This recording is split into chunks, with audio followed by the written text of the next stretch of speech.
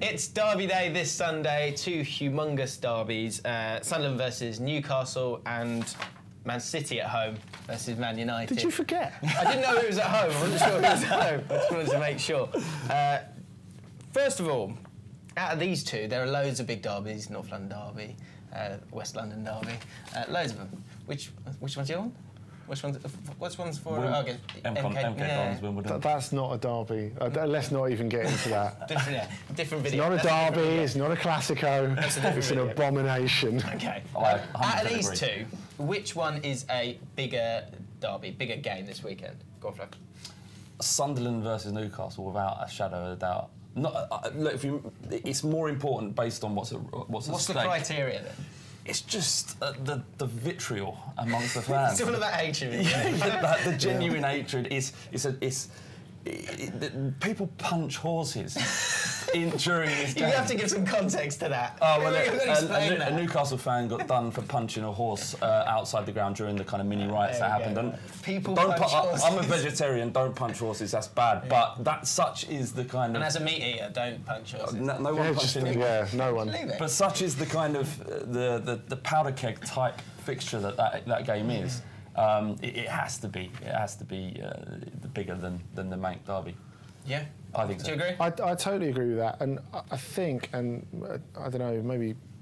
uh, I don't, I don't think there's anything particularly controversial about that. This Liverpool will always be bigger for United. I just think if you, if you look at the, the history of that fixture, the way it's still felt, you know, these are the two biggest clubs, Liverpool and United, in, in, in the history of, of English football, uh, at least for the moment. And um, you know, the, the the Manchester derby is something, but. Um, yeah, I, I, I don't think you can compare. And the fact, of course, that Newcastle and Sunderland are both swimming around there and, you know, in, in, in real trouble. I mean, if, if Manchester City or Manchester United missed the Champions League, of course, it would be a, a huge inconvenience. But it's something they could easily come back from next season and something I think they would come back from next season. If Newcastle or, or Sunderland go down, you know, not only do they miss out on an incredible amount of money with the new TV deal uh, kicking in, but you know, it might be pretty hard to come back up. Yeah, I mean, well, let's we'll, we'll get to Sunderland Newcastle in a bit more depth. Let's talk about um, Man City versus United. So here's a question: uh, Man City are 12 points off Leicester, and and Man United even more so. Um, but you expect Man City to be at least top two at the start of the season. So of these two teams, well, at this moment in time, which side is having more of a disastrous season? Uh, I think United, because City are still in the Champions League, and the Champions League could cover a multitude of sins, couldn't it? Even if they got to the final, you know that that would be such an incredible step forward for City.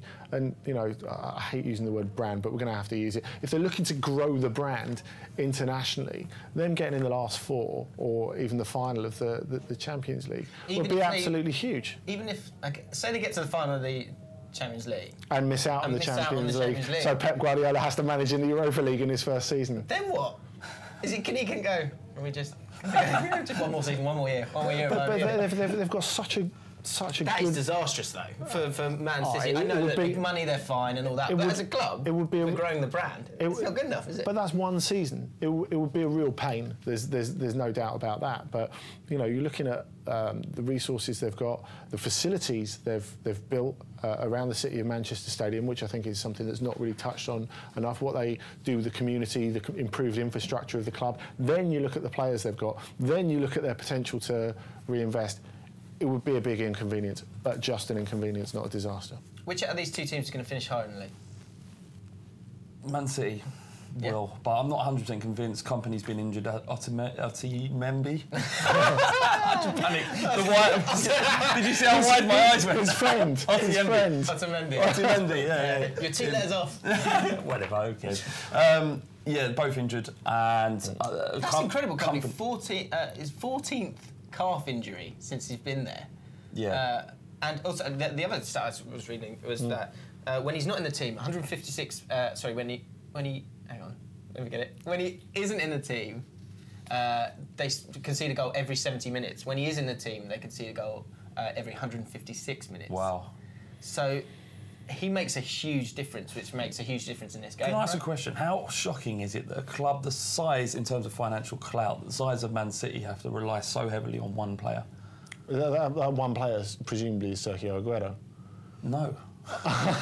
Uh, well, I I think can't if- believe I just didn't get if- it. I was like, what? Hang have you heard my question? Do you know where this conversation was going? if, if he if he goes if he goes out of the team, Yeah. that they're in massive trouble. He makes a huge difference there. I mean, Aguero is the best player in the Premier League, so so that's normal. Yeah, but they've been think, rubbish but- without Kompany. They're so reliant on Kompany that uh, it's bizarre to me. Well, they have they have at least tried to plot the succession there because you know I, I think Any of those centre backs that are there now, can they say Kompany left, had to retire, whatever?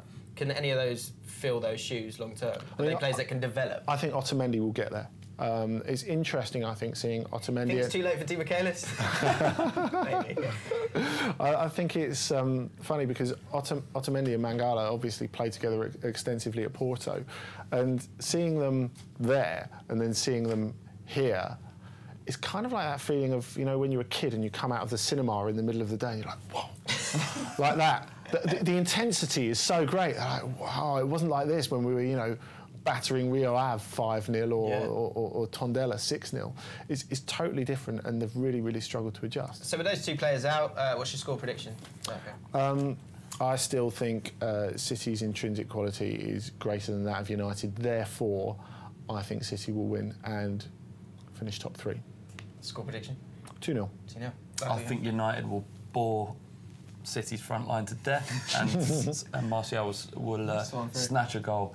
Uh, I think it'll be one 0 to United. 1 0. I've gone for Bordeaux 1 0.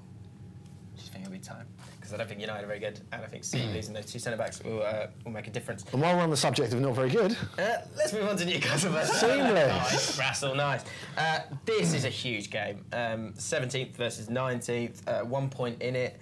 Um, Sunderland six wins on the trot uh, against Newcastle, and that was it. The last four managers, their second game has been against.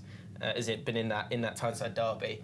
It turns around this time. Benitez gets his it's his second game, and uh, he's playing against Sunderland. Will will it happen the other way around? I, think it will. I, think uh, Benitez has had a few days to work with the players, which I, I think is very important. Um, it's a squad that, you know, probably should be too good to go down, but considering so? considering that there's not a lot in it, there's there's really not a lot in it. sure. Uh, especially especially with the injuries, I think um, you, you sense there's you know a lack of personality, um, and that's something that Benitez can really address, which I, I think I think will be good enough to get them over the line in this game. I'm not saying if they win this they'll definitely stay up, but obviously it gives them a, a really good chance. Yeah, uh, we, we asked you guys, where is it? We asked you guys uh, if you thought that Sunderland or Newcastle would stay up. 36%, which was the highest, uh, said that Newcastle would stay up. Um, 8% said both, um, both would stay up, which makes you think one of these two are going down. So uh, for you guys, which one is going down? Newca- Newcastle. I- I'm going to say Newcastle actually, mainly because I don't think Benitez has had any managerial experience in dealing with this type, these type of problems. May be wrong, but it's largely. Looking at the encyclopedia as he says. Yeah, absolutely. I was looking for the movements in the eyes, flickers in the uh, eyes. Uh, uh, right at the start of the career, wasn't it? Relegation battle with Extremadura, How'd they which go? um, on, Flav, well they went they went down. They went down. Well, there you go. the, one, the one time, the one time he's had to manage a, It's rele- not in his locker. a relegation-threatened club, he's gone down. In my experience, is only managing teams that are on the brink of something special or you know failing in, in delivering that final step over the line to glory. So, I think Allardyce is much more equipped to deal with this kind of pressure. I think Newcastle's squad is better than Sunderland's. That's why I'm not sure, but I think Newcastle will go down. Really, I, I would I would say I think that's that's the difference that Newcastle have, have definitely got the better manager. Even though I take your point about about context, he can get them organised really quickly, and all the things that we said that Allardyce would do, like get them sorted at the back. I mean, their defence is terrible, es- especially on the road. And I, th- I scored more goals in the first 15 minutes than any other team as well. So they start badly, which we in a game like this where it's just frenetic, isn't it? In those first 15 minutes, that could that could be huge. Yeah, it, it, it could be. And you know what, though? I would really, and I'm, I'm sure Rafa would love to stick the boot in because, of course, he's not especially fond of him. But I, I think Allardyce's culpability in this is, is, is limited. I, I just don't think he's got enough to work with. Really, I, I, just don't think. I think if they went down, you know, normally when a club goes down. Uh, people like you guys think, oh, can we feast on their players? Can we can we have that player? Can we have this player? And they've gone down. And there's, there's a few for me. I don't think there's that many from Sunderland. I think you've got Defoe, and that's probably about it, isn't it? I would would, you, would you would you have to No, I wouldn't have to take him back. But I mean, for, uh, for admittedly, you, you support a title chasing team, so it's, Yeah. it's, it's different. well, I'd take Wijnaldum, maybe Mitrovic at Spurs Really? as a backup, as a backup to Kane. I would, yeah. So, uh, score predictions, guys. Flav. I, think, I, think I still don't know. I just don't know. Su- uh, Sunderland to nick it, one 0 I'm going, for, I'm going for Sunderland as well. I think that they've. You say Benitez has had a week. Allardyce had two weeks to uh, to get this right, so they. But he's, he's not got it right for the last six months, is he? True, but I think I still I also think Sunderland will stay up. So I think this will be a Sunderland win, and it will be a two-one victory. Well, two out, one of two out of three ain't bad, as Meatloaf said, but he didn't say it was brilliant, did he? I'm going to go for a Newcastle Don't know any victory. And, and yeah, I know, it's a horrible one, that, isn't it? Um, I, I think they're just about going to stay up, and I think they're going to beat the Mackems 3 1. I think it's going to be a draw. Have you just? Uh, No, I've changed my uh, mind. Okay. Uh, let's know what you think. Can. I have a second prediction you as well? You- Let us know your predictions in the comments below. Which one is a bigger derby as well? Uh, like the video if you enjoyed it, and uh, subscribe to Ball Street.